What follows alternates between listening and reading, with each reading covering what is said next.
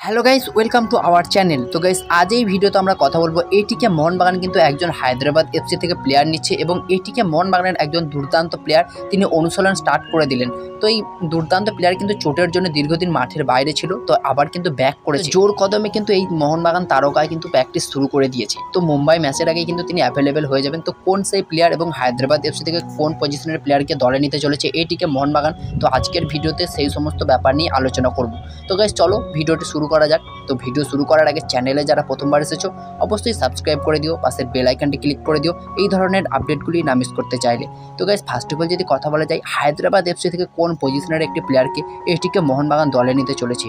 তো একজন wing back প্লেয়ারকে কিন্তু এটিকে মোহনবাগান দলে নিতে চলেছে। তবে মেনলি সেটা হায়দ্রাবাদ এফসি থেকে কোনো প্লেয়ারকে তো প্রথমে কিন্তু তারা হিতেশ শর্মাকে কিন্তু টার্গেট করেছিল। তো মেনলি সেই পজিশনেরই একজন প্লেয়ারকে দলে নিতে চাইছে এটিকে মোহনবাগান।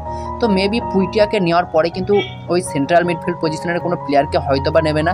নিলে কিন্তু হয়তো রাইট ব্যাক বা রাইট উইং পজিশনের কোনো প্লেয়ারকে নিতে পারে। রাইট উইং ব্যাক একটা পজিশনের প্লেয়ারকে কিন্তু হায়দ্রাবাদ এফসি থেকে এটিকে মোহনবাগান দলে নিতে চলেছে। তো কোন প্লেয়ার সেটা কিন্তু এখনও নাম জানা যায়নি তো নাম জানা গেলে অবশ্যই তোমাদেরকে আমি জানিয়ে দেবো। তো গাইজ চ্যানেলটিকে সাবস্ক্রাইব করে রাখো। পরবর্তী ভিডিও নোটিফিকেশান পেতে চাইলে।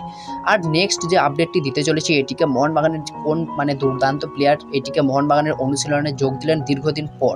তো সেটা হলো কিন্তু মানবীর সিং। তো মানবীর সিং কিন্তু দীর্ঘদিন অনুশীলন ছেড়ে এবং এটিকে মোহনবাগান দল ছেড়ে কিন্তু দূরের ছিল খেলা থেকে।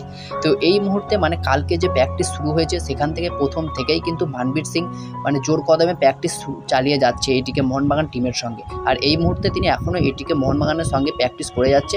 তো মুম্বাই সিটি এফসি ম্যাচের আগে তিনি কিন্তু খুব দুর্দান্তভাবে ফিট রয়েছেন এবং মুম্বাই ম্যাচ খেলার জন্য বেশ মুখিয়ে রয়েছেন। তো দেখা যাক মুম্বাই সিটি এফসি ম্যাচে তিনি কতটা কাম করতে পারে এবং গোল করতে পারেনি কি এখন এটাই দেখা তো গেস এই ছিল এটিকে মোহনবাগানের ব্যাপারে ছোট কিছু আপডেট তোমাদেরকে জানিয়ে দিলাম। তো ভিডিওটি ভালো লাগলে একটা লাইক করে দিও। চ্যানেলটিকে সাবস্ক্রাইব করে পাশের বেল আইকনটি ক্লিক করে দিও। এই ধরনের আপডেটগুলি না মিস করতে চাইলে। তো গাইজ দেখা হচ্ছে আবার next ভিডিওয় bye bye have a good day